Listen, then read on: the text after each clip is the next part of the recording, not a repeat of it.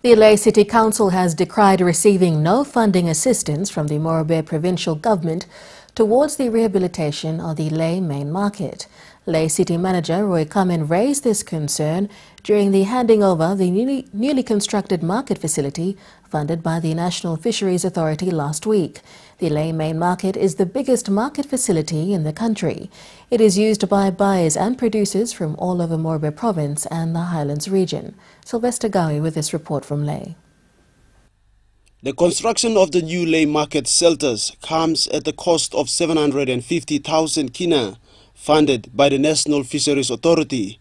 The first stage of construction has been completed and last week the buildings and market benches were handed over to the Lae City Council.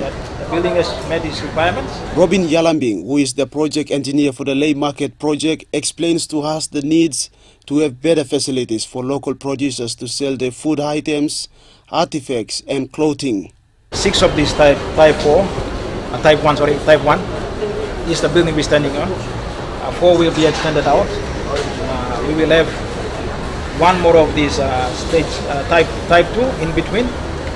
Then there will be also a fish market that will come under uh, separate funding. Over the last decade, population and economic growth in Lae City have seen an influx of people filling up the market. Overcrowding and limited number of market spaces for vendors have become a concern for many rural farmers who use the market to sell their produces. You see, as a, as a city, you may want to grow it, and we, we need to extend, but unfortunately, we got no land to extend it.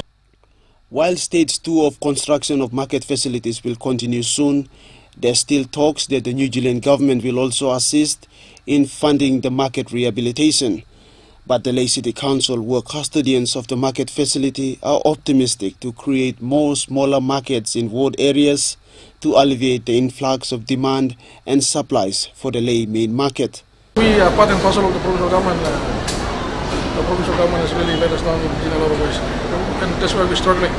As a municipal city and a service provider, you know, we're supposed to be getting a lot of support from the government, but uh, that's not the case. Sylvester Gawi, NBC National News, Lae.